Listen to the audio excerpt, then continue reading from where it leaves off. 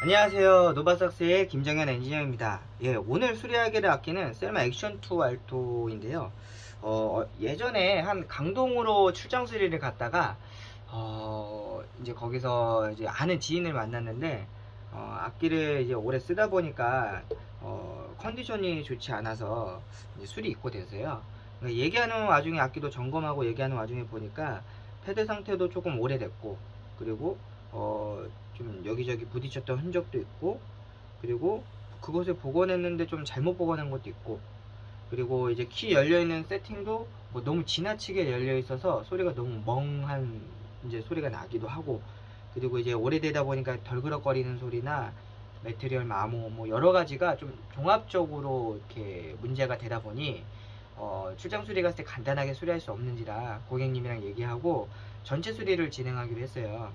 근데 악기라는 게 이제 오래 쓰다 보면 소모품도 발생되고 그리고 세팅에도 문제가 생기기 때문에 어 이제 한 거의 5, 6년에 한 번씩 전체 수리를 하는 중이라 그래서 고객님께서 이제 믿고 맡겨주신 만큼 어, 이 악기가 잘 복원되도록 수리해 보도록 하겠습니다. 그럼 수리를 시작해 보도록 하겠습니다.